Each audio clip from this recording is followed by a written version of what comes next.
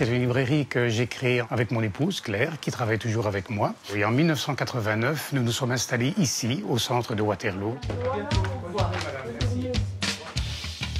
Un livre qui a changé ma vie, c'est celui-ci, L'œuvre noire de Marguerite Yourcenar. C'est un personnage qui s'appelle Zénon, qui est philosophe, médecin, alchimiste au XVIe siècle, qui résiste aux idées dominantes de son temps et qui euh, tente d'acquérir son autonomie de, de penser, sa liberté de penser. C'est un livre qui, je dirais, m'a aidé à prendre conscience que finalement chacun est maître de son existence et c'est à chacun de donner sens à sa, vie. À mon avis, si vous voulez comprendre la bataille, c'est le, meilleur.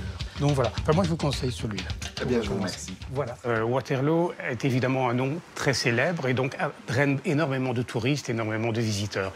Par la force des choses, nous avons un rayon euh, napoléonien, si j'ose dire, euh, relativement important.